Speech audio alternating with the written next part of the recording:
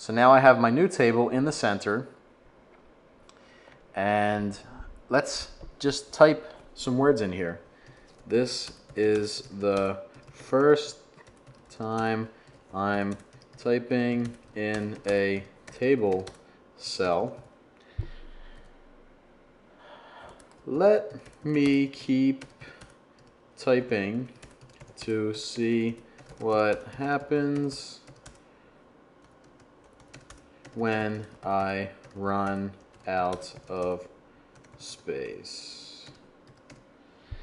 So you notice it kept expanding this cell until it squeezed this one over.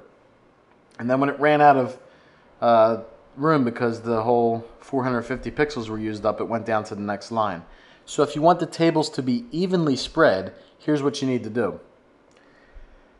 You need to highlight your cells, right click, go to table cell properties, and we want to select cells here.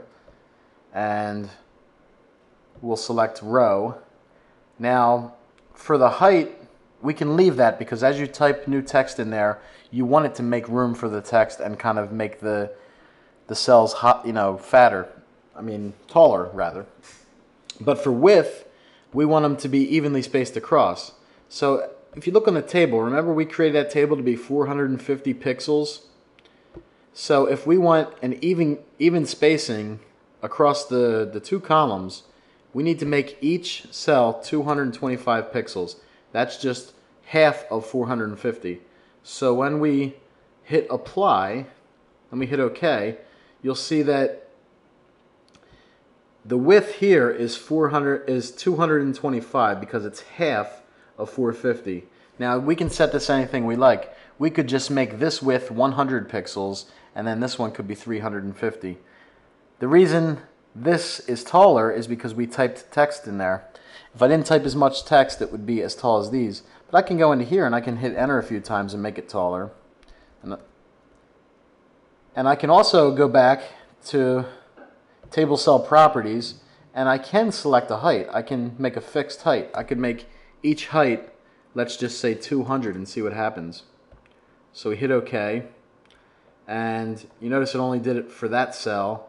So I would have to go here, table, table cell properties, and make the height 200 pixels. But for the cell, no. How about for the row? And we hit OK. So it made this row 200 pixels high. And then this one we didn't format yet. So you can adjust it so that it's exactly what you see is what you get, or you can just leave the height expandable so if you type in text, it will grow and make room for it. So I go back to table cell properties. For this row, I'm going to remove the restriction from the height and just let it be naturally whatever height it wants to be. And for this one, I'll do the same thing.